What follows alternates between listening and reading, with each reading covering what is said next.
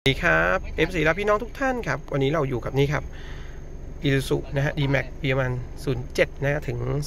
2011 นะครับ เป็นรุ่นช่องลมแอร์กลมนะฮะ ติดตั้งจอ Android เป็นจอ Android ตรงรุ่น Built-in เลยนะครับ ตัวนี้ติดตั้งกล้องบันทึกหน้าระบบ Android ด้วยนะฮะ แบบนี้ฮะ จาก YSK นะฮะ แล้วก็กล้องถอยนะครับ เดี๋ยวเรามาดูกันนะครับ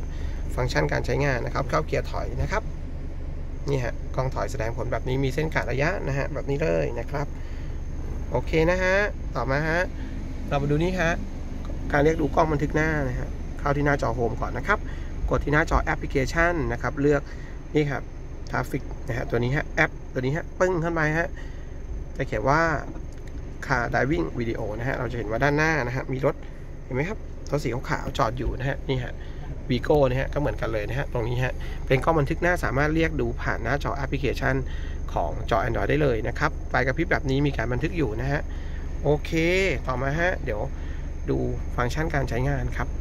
ก็ไม่ยากปล่อยสัญญาณ Hotspot แล้วเชื่อมต่อได้เลยนะครับหน้าจอขนาด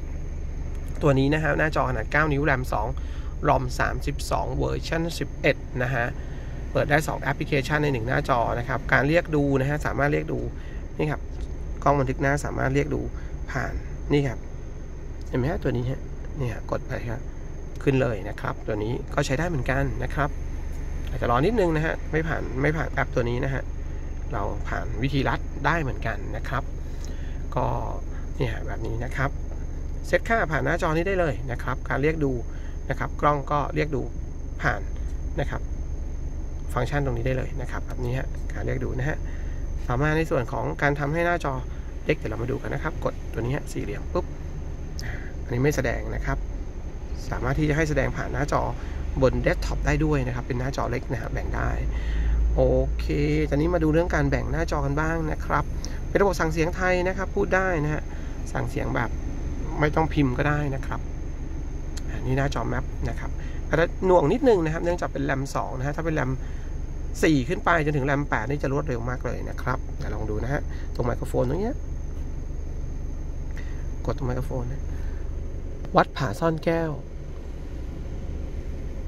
เนี่ยการประมวลผลวัดผ่าซ่อนแก้วนะ โดยที่เราไม่ต้องพิมพ์นะครับ ผมพูดเอานะฮะ เล่งเสียงสักหน่อยก็ได้นะฮะ เพื่อจะได้ให้ไมค์นะครับเขาจับสัญญาณคำพูดได้